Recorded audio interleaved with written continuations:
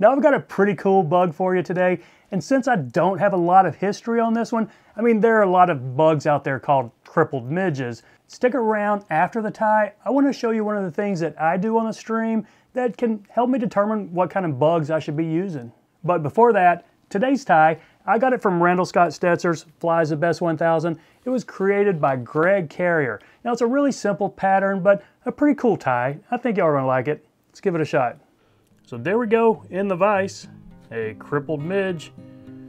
Pretty simple little pattern, but kind of cool looking. Now I'm tying this on a size 14 and I've used this hook before. This is a J Stockard Model 430. It's a 3X long curve shank hook. It's one of my favorite hooks.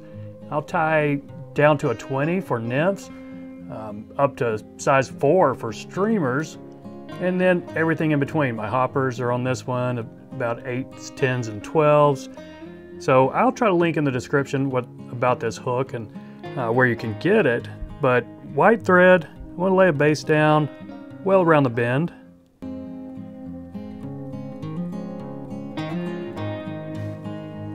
And the rib on this guy, extra small copper wire. I'm going to catch it in up front. You probably don't have to, but it will help us to keep this underbody consistent going all the way back. Okay, I think that is going to be long enough of a body. So leave our thread right here at the back. And then let's take our white Antron. And this one I have right here is on a spool. A lot of it is not on a spool, but either way, just take one of these strands and let's catch it in right here on the back. And you can leave it long to begin with. We'll, we'll trim it to size here shortly but you don't want to catch it in with too many wraps back here. Let's go with two wraps. Watch the front of this, but we do want to keep it on top. Okay, so there's two wraps right there. Now I'm going to take my thread right back up here, pretty far up, a couple eye lengths back. Let's try to keep that wire out of the way here. Now I'm just going to wrap this Antron up.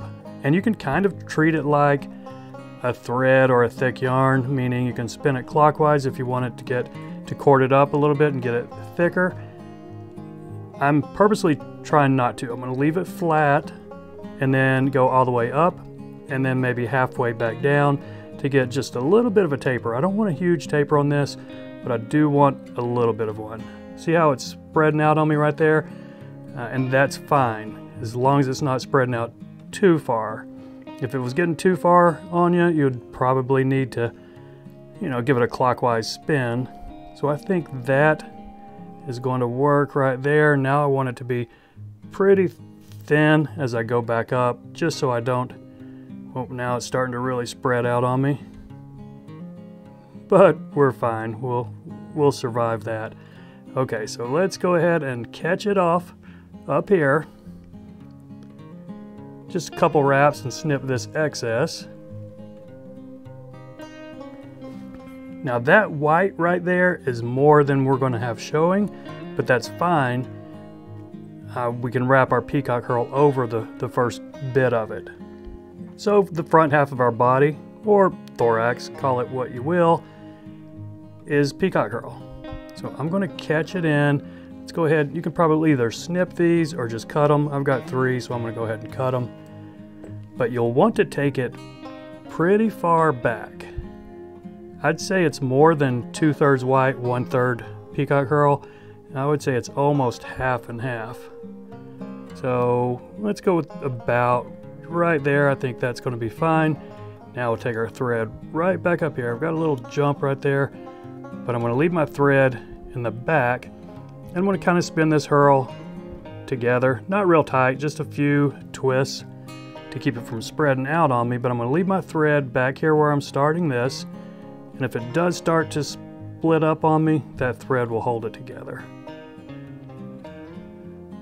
Okay, I think that is enough.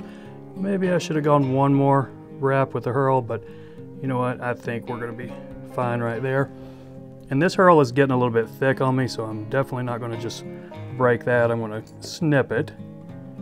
And a few extra wraps right here to just really lock it in. Now, let's go ahead and counter wrap this rib. And I'm not sure what this does for you on the white. It might give you a little bit of segmentation.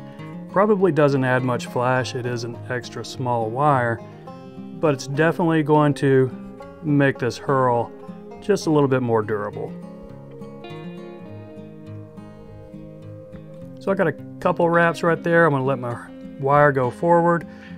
A couple more wraps. Now I can spin this off without risking it unraveling on me. And now let's go ahead and trim this tail because we really want it really short. Just a, a small wisp of a tail right there. You might even crinkle it up a little bit if you want. Now let's get our thread right to the front of this herl. I think that right here is gonna work. And take two little tips of white hackle. And they're not long. You'll see that with a lot of cripples. They have just little short stubby wings, maybe a little bit past that herl, but not much past it. So let's catch these in with a, a pinch wrap right on top. Okay, I think that is gonna be fine. Maybe I should have laid them flat, but you know what? I think we're gonna be just fine. Now snip this excess right here off. And I'm gonna spend a few wraps right here just trying to smooth this area out because we are putting a couple wraps of hackle here. And the hackle, the same white I was using right there. You don't have to get too fancy or crazy on this not really even worried about catching it in perpendicular. I'm just going to catch it in right there in front of those wings and make sure I get enough wraps to secure it. I think that's enough right there. Now let's put two wraps on it. Um, again, not a lot of hackle, maybe two and a half, or we'll, we'll see what two looks like for us right there. I think that's going to be enough. I'm going to catch it off right there, right behind the eye, but we're going to sweep it back. So go ahead and snip this off and then we'll take care of those fibers when we work on our head. And what I mean by take care of them is just try to pull them all back and take a couple wraps going back right here. Just try to get them all, they're short so it's going to take a little bit of dexterity here.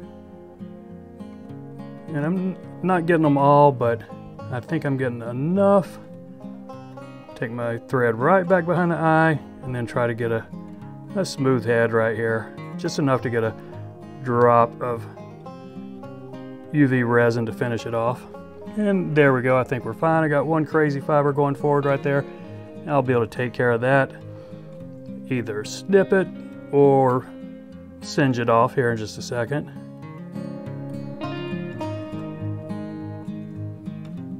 So any cleanup on this? Yeah, probably. Got a couple of those fibers right there I can take care of before putting the head cement on it. But otherwise, I think we got a fishable fly. So that's it, my friends. I appreciate you watching. Y'all take care, and we'll see you next time. Okay, that was pretty fun. Now here's the bonus material. Here's one of the things that I do on the stream that usually it will, you know, increase my odds of having a better day. So first off, take your landing net. And I hope all of you guys fish with a landing net. It's generally a pretty good idea. Then take your mosquito net. Now, if you don't have one of these, get one of these. They're about $2 on Amazon, uh, and it can be a lifesaver in summer when the bugs are out. But what you do, you just take this and then put it over your landing net. And they're just about the perfect size for, you know, putting over your landing net. It's even, usually most of them have a drawstring cord right here. So you pull this tight, and there you've got your, your seine, which is the, the perfect little apparatus for going out and catching nymphs in the water. So what you do with the net, you just walk out into some current, not too deep or too fast. I mean, if you try to put in two feet of water and really fast current, you're going to stick it down in there and it's going to rip it right out of your hand. But maybe about 18 inches of water and, and moderately fast current, but preferably with a bottom that's either rocky or gravel, you know, where the nymphs are going to be living. Then you just push it down into the bottom, put your boot a foot or so in front of it, and stir up the gravel. Kick some up and let all the current drift right through the net. Then take a look and see what you've caught in the net. Now, you might already have an idea of what to expect. I mean, depending on the water you're in or the time of year, you could be expecting all kinds of different mayflies or maybe some stoneflies or caddis nymphs. But where this can really help you is determining the size of them or even the color. I mean, are the golden stoneflies really gold, really yellow, or are they more of an amber or even a light brown? Or are the bugs that you're looking at less than half an inch long or maybe three quarters of an inch long? And that can make a big difference on how effective your flies are. Now, this little tactic can help you in the here and now on determining what you're going to tie on right then. But if you want to take it the extra step, get you some of these little sample bottles. These little vials right here, this is a two dram uh, container. And oftentimes I will just take the nymphs home that I, that I catch and uh, you know tie some imitations there and not necessarily create new patterns, but maybe look at that fly and flip through some of my books and say, this is a nymph I should have been fishing today. Now, if you do that, keep in mind that one of these with, with creek water in it, it's only going to last you about three days and then the, the bug will start deteriorating and then eventually start stinking. So if you want to keep them long term, you need to use some kind of preservative or alcohol mixture. So that's it. Hope this little tip helps some of you. I know it's helped me. Thanks for watching, everybody. Y'all take care. See you in a couple days.